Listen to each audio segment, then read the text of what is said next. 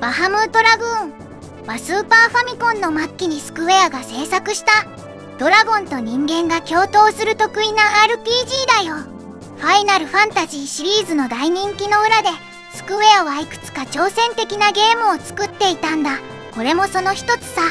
ドラゴンと共闘するってどんなゲームプレイなの？プレイヤーは人間キャラクターをコマンドで操作するんだけどドラゴンは自動で行動してくれるんだ強力な味方だよ。ドラゴンが自動で戦うのかそれは心強いね。このドラゴンたちはただの爬虫類じゃなくて食べたものによって色々な形に進化するんだ。食べたもので進化するってどういうこと？ドラゴンは武器でも鎧でもエッチな本でも食べることができてそれによって能力が変わるんだ。何でも食べるドラゴンって珍しいね。どんな能力になるのかな？その成長方法によってドラゴンは戦闘で大きな差を生むんだ。プレイヤーの戦略次第で色々な戦い方が楽しめるよ。それは面白そう。ドラゴンの育て方によってゲームが変わってくるんだね。その通り。それにシナリオもスクウェアらしい深い物語で覇権主義の帝国軍と抵抗する軍の争いが描かれているんだ。重厚なストーリーがあるのでどんな展開になるのか気になるこのゲームファイナルファンタジーと比べるとうつ展開や意外なオチが多いんだ。ゲームプレイだけじゃなく物語にも驚かされるよ。それはちょっと怖いけど引き込まれそう。そうなんだよ。ドラゴンとの絆や重いテーマを含んだストーリーがプレイヤーに深い印象を与えるんだ。ドラゴンとの絆がテーマになっているのも他のゲームにはない特徴だね。そしてバハムートラグーンはドラゴンの育成や戦略物語の深さで多くのファンを魅了してきたんだ。今でも語り継がれる名作なんだね。すごくプレイしてみたくなるよ。確かに。今プレイしてもその魅力は色あせないよ。バハムートラグーンは。RPG の新たな可能性を切り開いた作品だからね。RPG の新たな可能性を感じられるゲームなんだね。本当にワクワクするよ。そうだよ。バハムートラグーンはドラゴンと人間の共闘進化するドラゴン。そして壮大な物語で多くの人に愛されているんだ。スクウェアの挑戦的な作品って本当に面白いね。これからも色々なゲームをチェックしてみたいな。新しいゲームを探求するのは楽しいよ。バハムートラグーンみたいに。今でも新鮮な驚きを与えてくれるゲームはまだまだあるんだから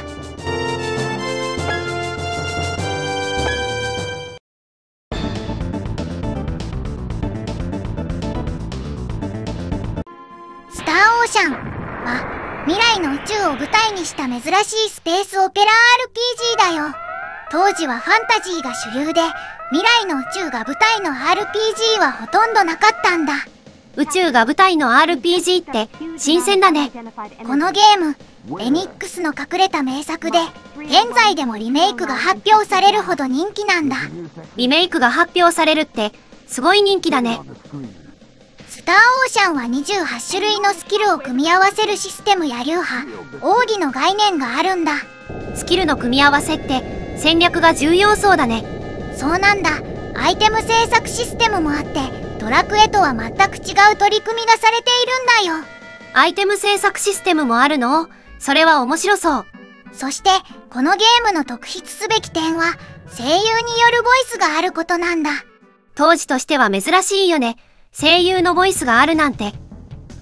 オープニングのナレーションもあって当時としては非常に贅沢な作りになっているんだ。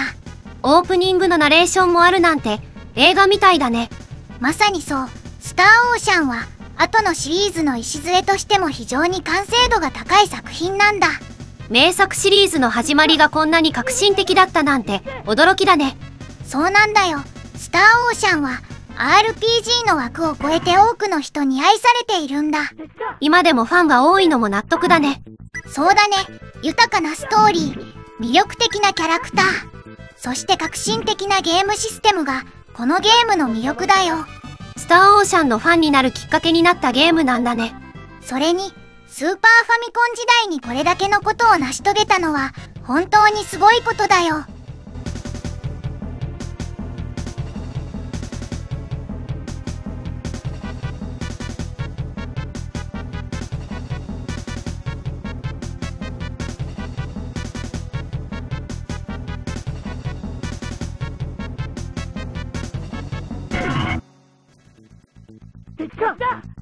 油断するな。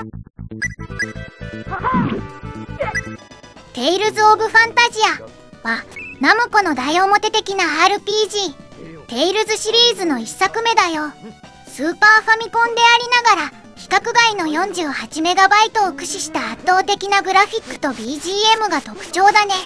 スーパーファミコンでそんなに大容量なんて、すごいね。そのおかげでゲームの内容も豊かになって終末期の同期でも大人気になったんだよ。キャラクターデザインは逮捕しちゃうぞ。やはあ女神様の藤島康介先生が担当してるんだ。藤島先生のデザインしたキャラクターが話すなんて、どんな感じ？それがこのゲームはキャラクターがボイス入りで話すんだ。スーパーファミコンでは珍しいよね。さらにテーマソングまでフルボイスで歌われるんだ本当に贅沢な作りになってるよ。フルボイスのテーマソングって、昔のゲームでは特別なことだったよね。そしてシステム面でも革新的だったんだ。リアルタイムで戦えるアクション要素の高い戦闘システムがあるんだよ。リアルタイムの戦闘って、どんな感じなの？当時としては珍しくプレイヤーが直接キャラクターを動かして戦うんだ。アクションゲームみたいな感覚で楽しめるよこのシステムが人気を博して後の名作シリーズの礎になったんだ。名作シリーズの始まりがこんなに革新的だったなんて、驚きだね。そうなんだ。このゲームは RPG の枠を超えて多くの人に愛される作品になったんだよ。今でもファンが多いのも納得だね。まさにそう。豊かなストーリー魅力的なキャラクターそして革新的なゲームシステムがこのゲームの魅力だよテイルズシリーズのファンになるきっかけになったゲームなんだね。それにスーパーファミコン時代にこれだけのことを成し遂げたのは本当にすごいことだよ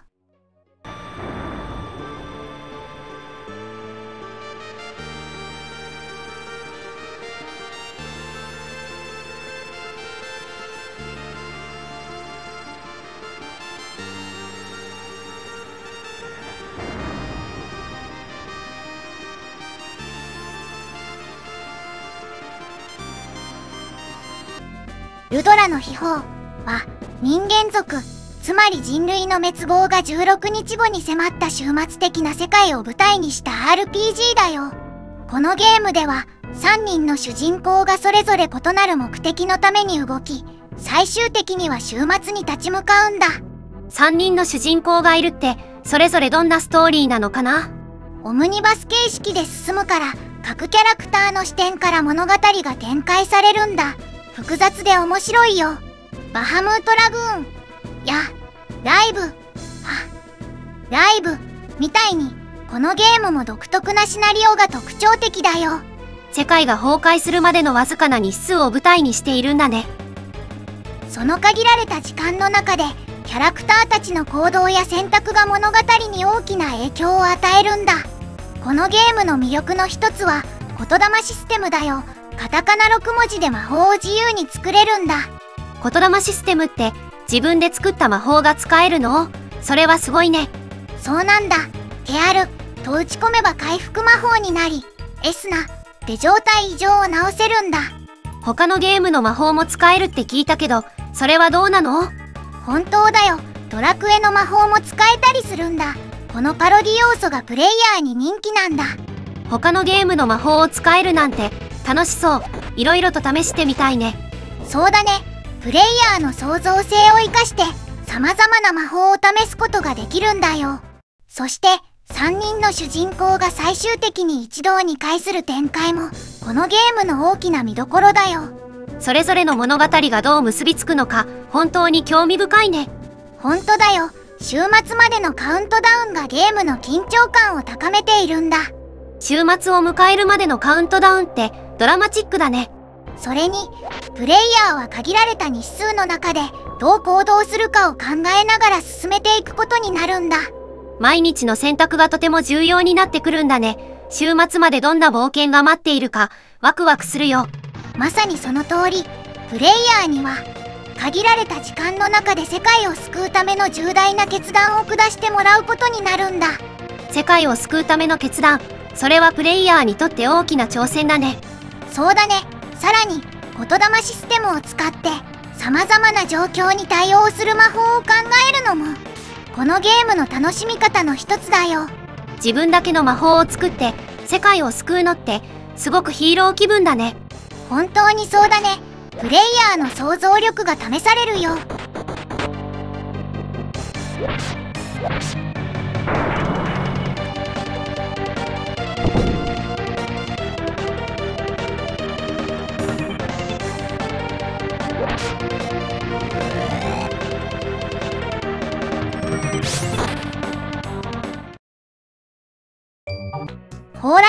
の冒険転校生スクランブル。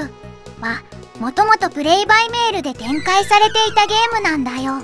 漫画やカードゲームドラマ CD に TRPG と様々なメディアで展開されてきたんだ。それはいろいろな形で楽しめるね。どんなゲームなの？このゲームは生徒数十万人を超える超万モス校蓬莱学園が舞台の RPG なんだ。10万人も生徒がいる学園ってどんな感じなの？学園国家として政治経済軍事まで生徒たちの自治で行われているんだ。それが舞台の RPG さ。学生たちが自治する学園国家って面白い設定だね。ゲームシステムは基本的にオーソドックスな RPG だけどスキルが部活動で表現されているんだ。部活動がスキルになるなんて学園らしいねそしてステータスなどが TRPG に準拠しているから TRPG ファンにも楽しめるよ。TRPG の要素があるんだ。それはまた違った楽しみ方ができそう。このゲーム根強いファンがいて販売本数が少ないからプレミアゲームになっているんだよ。プレミアゲームって珍しいね。見かけたらラッキーかも。そうそう。もし見かけたら絶対にゲットしてね。このゲームまさに学園生活を楽しめる特別な体験だよ。学園生活を楽しめる RPG っていろいろな発見がありそうでワクワクするね。プレイヤーは学園の一員として様々な活動に参加しながら物語を進めていくんだ。学園の一員になれるなんてまるで別世界にいるみたい。まさにその通り。このゲームは学園生活の楽しさと RPG の冒険が見事に融合しているんだよ学園生活と RPG の冒険が一緒になるなんて本当にユニークな体験だね。そうだね。プレイヤーには学園内の様々な事件や冒険を通じて成長していく楽しみが待っているんだ。学園内での冒険それはきっと忘れられない思い出になるね。今プレイしてもその独創性と楽しさは色あせないよ。絶対にプレイする価値があるゲームだね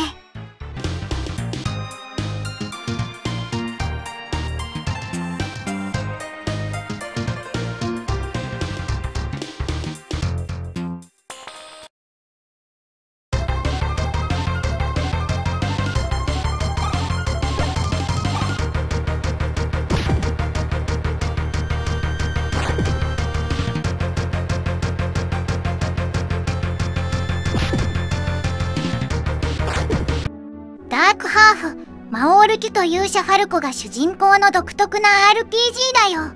このゲーム人間と魔王2人の視点から物語が進むんだ。人類が滅亡するまでの7日間を描いているよ。二人の主人公を交互に操作するのは新鮮だね。ストーリーがどう展開するのか気になる。ゲームのシステムも得意でダンジョン内での歩数が限られているんだ。歩くごとにソウルパワーを消費するのさ。ソウルパワーって具体的には何？ソウルパワーはキャラクターの生命力みたいなもの。これがなくなるとキャラが弱るんだ。そしてね経験値を使わない成長システムがあるんだ。これがゲームの難易度を高めているよ。成長システムが経験値じゃないってどういうこと？本作では戦闘やイベントを通じてキャラクターが成長するんだ。独自のシステムが魅力的なんだよ。キャラクター成長も独特なんだねそして対立する2人の主人公の物語が互いに影響し合うんだ。複雑で深いストーリーが楽しめるよ。互いに影響するストーリーってどんな展開があるの？それがこのゲームの魅力で一方の行動がもう一方の物語に影響を及ぼすんだ。魔王がプレイヤブルキャラとして登場するのも珍しくこれがまた面白いんだ。魔王を操作できるって他のゲームとは一味違うね。リアルタイムで敵として対立し合うって、スリリングだね。まさにその通り、このゲームは魔王と勇者が同じ世界で戦っている感じがして、没入感がすごいんだ。それはプレイしてみたくなるね。このゲームはストーリーの深さと独自のシステムで多くのファンを魅了しているんだ。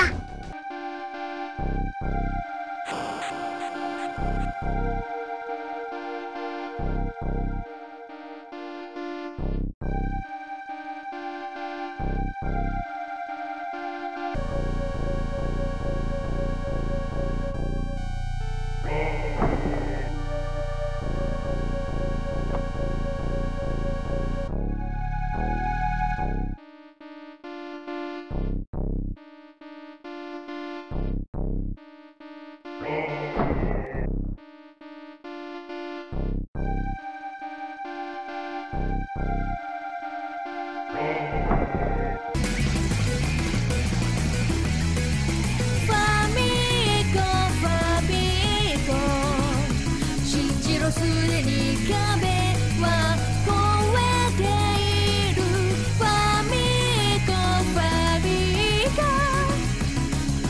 ン俺たちしかできないプレイを